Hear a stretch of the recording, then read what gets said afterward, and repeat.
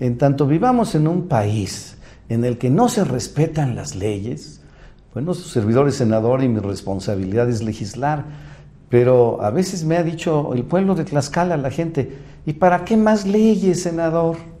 Si no se cumplen.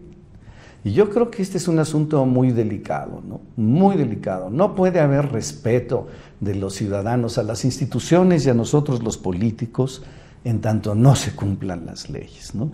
Yo diría que pues, hemos atravesado por una situación en Tlaxcala eh, lamentable, muy triste en todos los órdenes, en el orden económico, en el orden político y en el orden eh, social.